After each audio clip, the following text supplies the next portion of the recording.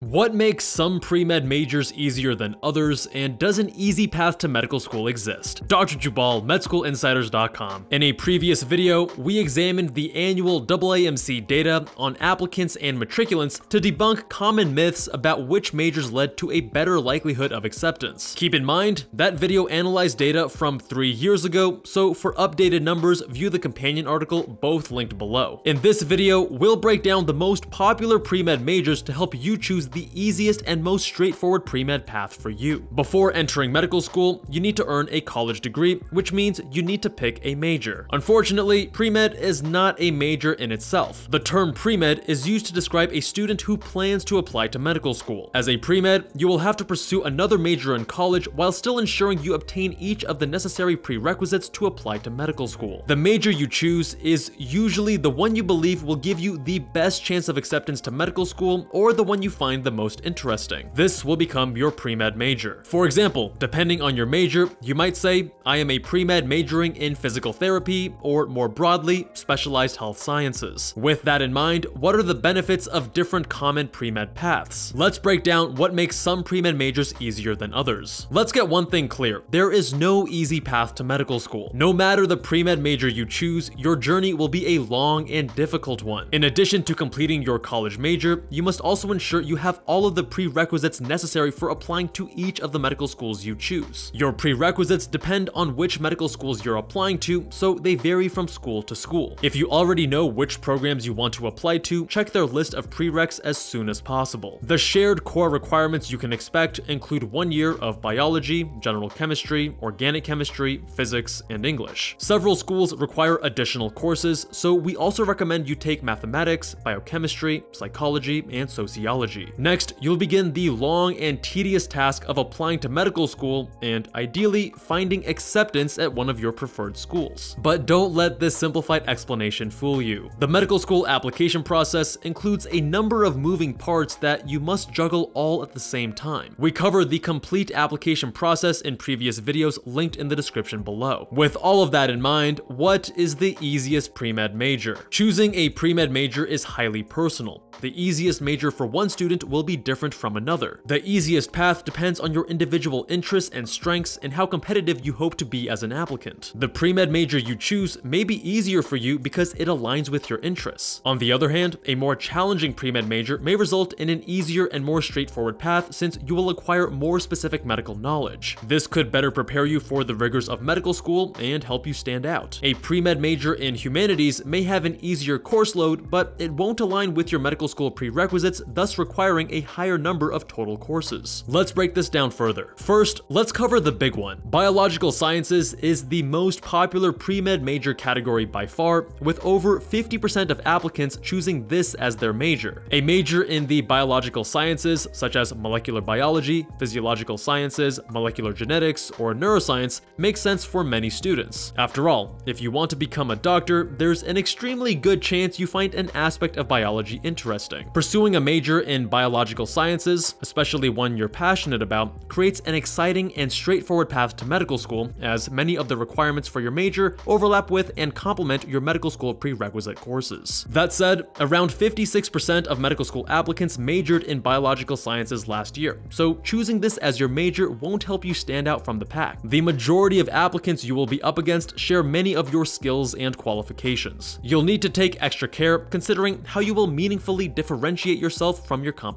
Another option is choosing a more obscure pre-med major, such as math or the humanities. This creates a unique path and makes your application more interesting. After sorting through dozens upon dozens of biology majors, your English or fine arts degree is likely to catch the attention of admissions committee members. Don't think that choosing an obscure major makes your acceptance to medical school any less likely. In terms of acceptance rates, in 2022, only 41% of biological science majors were accepted to medical school versus 51% of humanities majors. Passion and interest are vital aspects of selecting your pre-med major. If you've always wanted to study something beyond biological sciences, now is certainly your chance to do so. The larger challenge comes in figuring out how to also accommodate your prerequisites. If you want to major in English, for example, you're facing an uphill battle, as you not only need to complete your full course requirements in English, but you also need to fulfill two years of medical school prerequisites. So if you're going to choose an obscure path, you have to really want it. But take these statistics with a grain of salt. As we say, statistics apply to populations, not to individuals. Just because humanities majors have a higher acceptance rate than biological sciences doesn't mean it's necessarily better. Rather, it may point to the fact that there are additional hurdles to jump through given the lower degree of overlap with medical school prerequisites. In other words, those who majored in humanities and applied to medical school must have been more dedicated on average and thus been more likely to get accepted to medical school. It's a textbook example of survivorship bias. Do not, however, choose a unique major if you're only trying to stand out from the pack. If you really are most interested in biological sciences, don't force a fine arts major. If the passion isn't there, it will definitely show in your grades, as well as how enthusiastically you speak about your major in your application and interviews. Choosing a major and starting off on the right foot and navigating college is not something to be taken lightly. The one-on-one -on -one advising offered on medschoolinsiders.com pairs you with a physician advisor who can guide you on the pre-med decisions that best align with your strengths, weaknesses, interests, and career goals. Learn more in the description below. Next, what are the benefits of a tough major and how does tough correlate to easier? Look, if you're looking for an easy path to medical school, you're not gonna find one. It's an incredibly difficult path, and getting into medical school is only the first of many steps to becoming a practicing doctor. Majors that will prepare you both in subject matter and rigor may be difficult at the time, but getting over that learning curve early on will help you succeed as your life as a medical student and resident continues to intensify. For example, I chose a neuroscience major at UCLA. I was, and still am, very interested in the most complex human organ, and as a biological science major, there was plenty of prerequisite overlap. But the real benefit was how tough the program was. At the time, neuroscience and bioengineering were considered the two most challenging pre-med majors. By choosing a difficult path, you are forced to hone your work ethic and study strategies and learn a great deal more than you might on a presumed easier path. You prepare yourself by diving deep into the subject matter, sometimes in even greater depth than you'll cover in medical school. And in doing so, you'll begin to build the strong work ethic and study habits you will absolutely need in order to succeed once you enter medical school. What may seem like a more difficult path now will make your life easier down the road. You'll be well on your way to building the solid study habits, routines, and life skills that will serve you throughout medical school, residency, and beyond beyond. Plus, when the neuroblock and medical school came around, it was much easier for me to perform well while putting in less effort compared to other blocks. After all, I had spent multiple years in college going in depth studying neuroscience, oftentimes in greater depth than what we covered in medical school. Lastly, there are clear benefits to choosing a pre-med major that aligns with your interests. If you are pursuing medical school, there's a high likelihood you enjoy science. If you don't, you should probably reconsider your path and whether or not becoming a doctor is for you. But many, many pre-meds have interests beyond biological sciences. Whatever your interests may be, pursuing a major you're truly passionate about has its advantages. You'll be enthusiastic about and engaged with the subject matter, so while it will be challenging, it will also feel immensely rewarding, and that passion will help you get through the tough times. As a hopeful pre-med, you have the rest of your academic life and career to study the human body. If you're passionate about medicine, but also wildly passionate about literature, art, political science, economics, or what have you,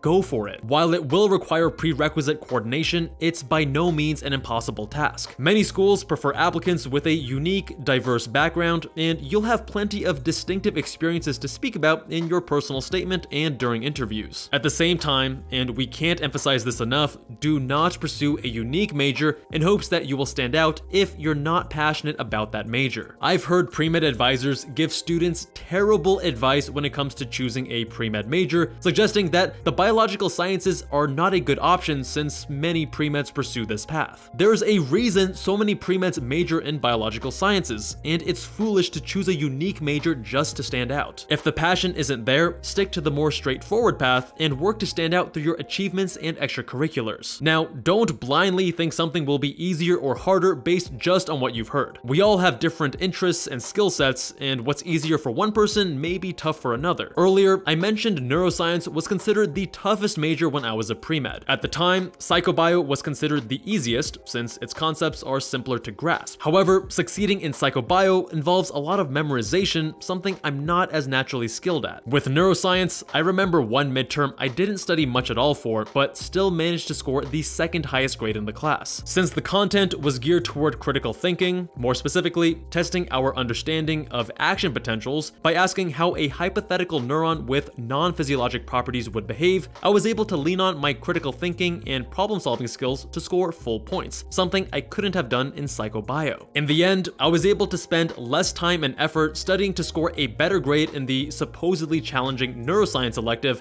whereas I had to invest considerably more time and effort to score well on the supposedly easier psychobio elective. There are so many factors, including your unique strengths, weaknesses, and passions, that come into play when determining what easier means for you. Your easiest path will not be the same as someone else's. Choosing your pre-med major is a big decision, and like all big life decisions, they come with a lot of pressure. Med School Insiders offers one-on-one -on -one advising that pairs you with a physician advisor who best fits your specific needs. We are here to answer all of your questions and help you choose the path that best aligns with your interests and desired outcomes. It's our goal to help you create a future that aligns with your vision. We can provide advice on choosing the pre-med major that's the best fit for you, help you build an ideal medical school list, and assist in crafting a standout medical school application that will ultimately result in acceptances at your top choice schools. Visit medschoolinsiders.com to learn more. Thank you all so much for watching. If you enjoyed this video, check out Medical School Applications Explained and Medical School Application Deal Breakers. Much love, and I'll see you all there.